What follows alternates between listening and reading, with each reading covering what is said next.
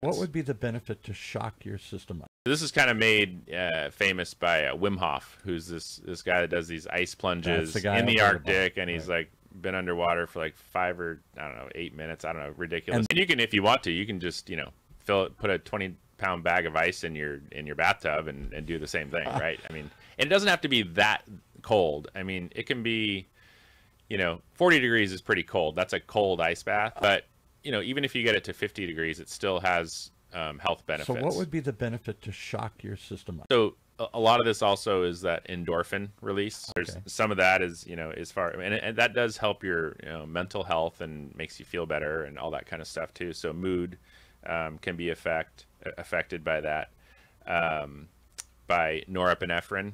You know these are uh, chemicals in your body that are released um, that help to change your mood and can improve your uh, immune system me- too. So it helps you to reduce that over time as well. So as you respond to stress, you're going to respond a little bit better than you would if you're not doing the ice bath.